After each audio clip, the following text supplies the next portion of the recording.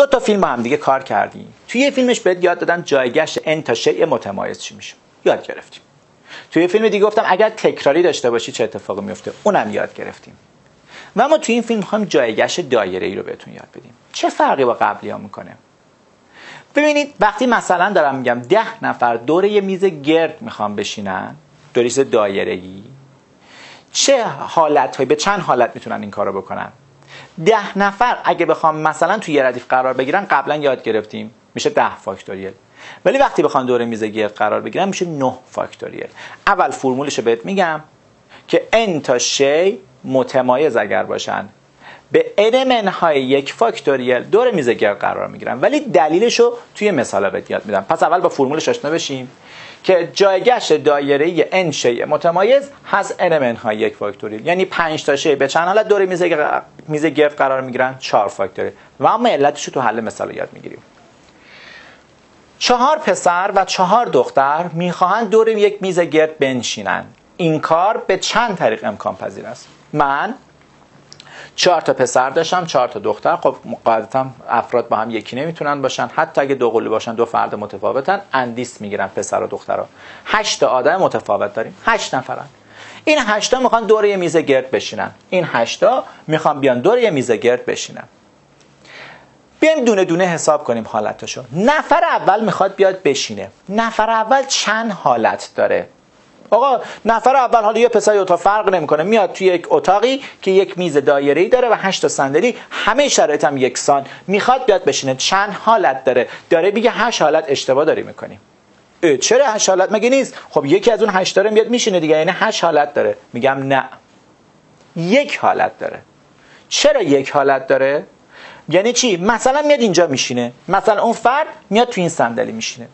به من بگم این صندلی با این صندلی چه فرقی می‌کنه؟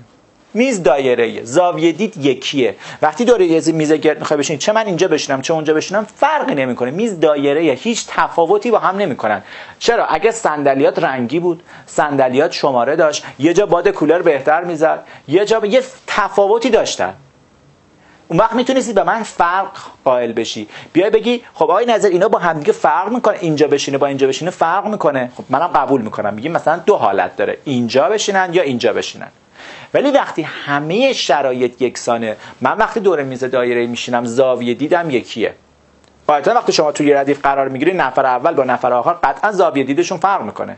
شرایطشون متفاوته. کسی که توی ردیف قرار می‌گیره مثلا صف شیر باشه نفر اول زودتر بهش می‌رسه تا نفر آخر. پس نفر اول با نفر دوم نفر دوم با نفر سوم فرق می‌کنن حالتشون.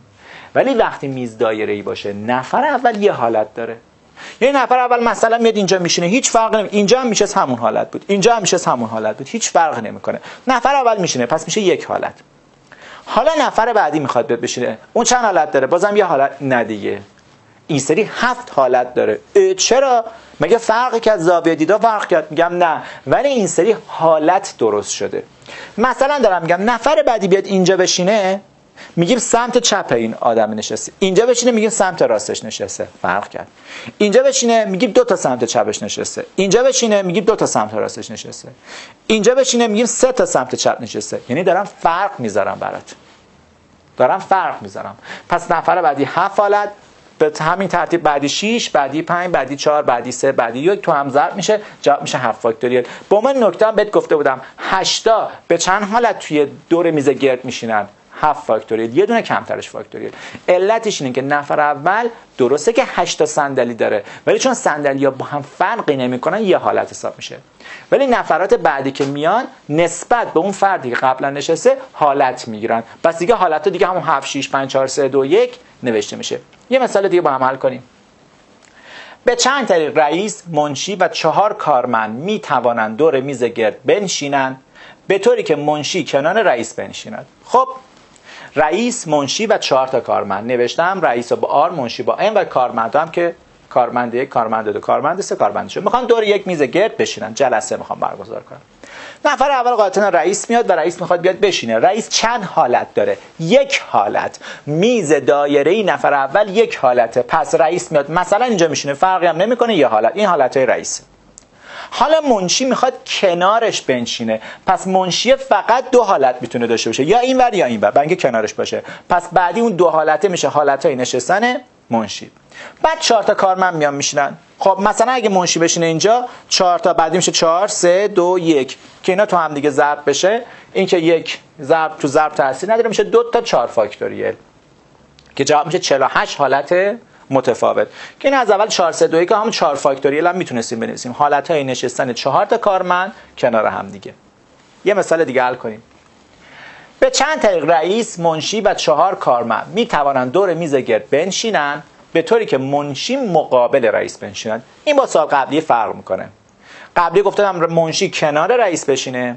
اینجا گفتم منشی مقابل رئیس بشینه. دوباره. رئیس منشی و چهار کارمند رو دارم و میز خودم. طبق معمول اول رئیس می‌خواد بیاد بشینه. رئیس فقط یک حالت داره. پس مثلا اینجا میشینه که میگیم یک حالت.